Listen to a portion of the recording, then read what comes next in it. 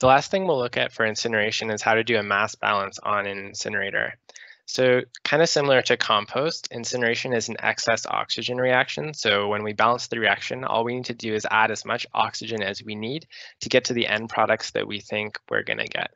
Um, but those end products aren't entirely obvious. It's not always just the highest oxidation state of these materials. Um, based on the conditions inside the incinerator, uh, we'll get different compounds for each. So I'll give you just a couple seconds to think through what do you think we'll get from our carbon, our hydrogen, our nitrogen, um, and our sulfur, as well as the ash fraction, which doesn't show up in the empirical formula above, but we know um, there's a non-organic portion in our waste as well.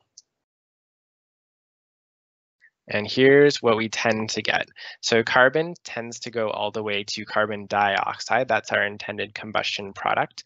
Um, we can have some incomplete combustion producing carbon dioxide or monoxide, as well as dioxins and furans. Dioxins and furans are highly toxic, and it's very important that those are prevented from being formed or oxidized fully or removed from the flue gas. And we'll touch on that in air pollution control. But if we're doing our job, all our carbon's going to end up as carbon dioxide.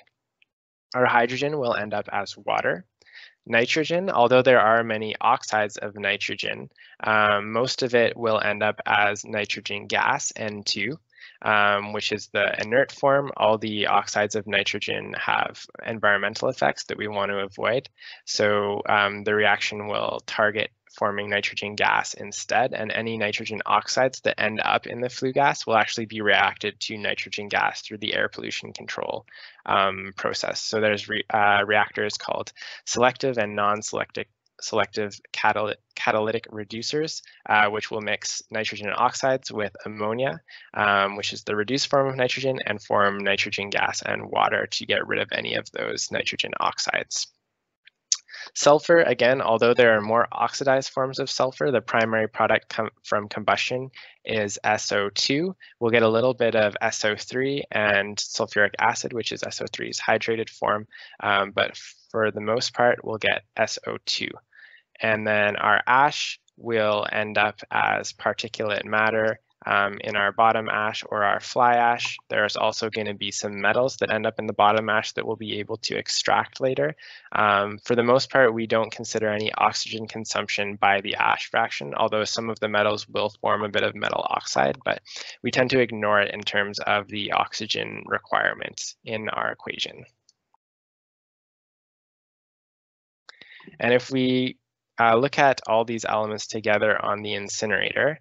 Um, we've got our waste and our air being supplied. We've got our fly ash and our bottom ash coming out of our ash fraction, and then our flue gas consisting of all these gases that we were just looking at.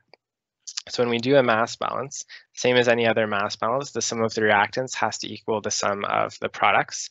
Um, specifically for us, our air is going to be for incineration about 20 to 300% more in terms of oxygen that we actually need. So that's the amount of excess that's present. So we'll we'll have more air than we need. And then in terms of our ash, typically it's going to be on the order of 15 to 20% of the MSW dry mass coming in. So those are kind of the unique elements to the incinerator mass balance. But when we do the math, it's just the same as any other mass balance, um, making sure they all add up to show that that there's no net production of mass from the system. So let's try an example. In our example, an incinerator accepts 50 tons of MSW per day. The stoichiometric oxygen demand, so that would be based on our balanced reaction, um, is 30 tons per day of oxygen, and it's specified that 80% of an excess is supplied. So we get 100% of the stoichiometric requirement plus 80% extra. 20% of the MSW coming in is ash. And in this one, it's simplified. We just have a total ash. We haven't separated into fly ash and bottom ash.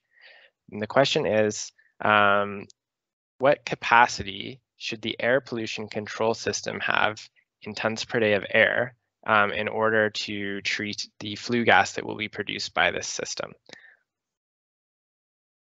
So for our solution, um, we can look at all the mass balances and see what we know and what we don't know. So our MSW in we know is 50 tons per day is a given. The air, we were given the excess aeration requirement. So it's 30 tons per day plus 80% excess.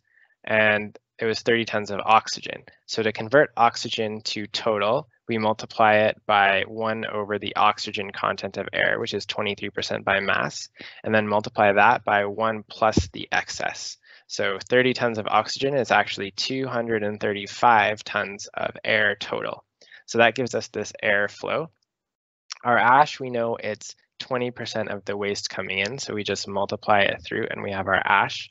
And then to close our mass balance it, rather than going through and doing all this math and figure out, you know, how many moles of each and blah, blah, blah, we can just look at our formula that reactants equals products. We have our three knowns and our one unknown. So we just subtract um, the mass coming out from the mass going in, and we're left with 274.8 tons per day of gases being produced. And this uh, equation is just the total. So it doesn't separate out which gases are combustion products uh, from which gas is the excess air. It's just the total. If we wanted to get more detailed and disaggregate those, then we'd have to get a little bit more um, into the calculation but um, just a simple mass balance we can solve with our products and reactants on the system.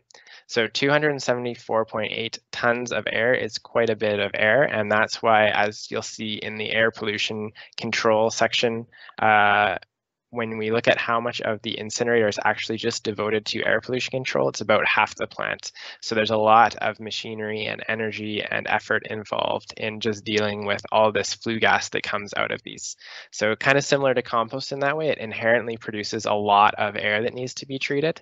Um, and that's something that's a little bit different about incinerate or gasification and pyrolysis, which are kind of more like AD where they don't necessarily have to produce any air at all if um, all that gas is taken and used for something else.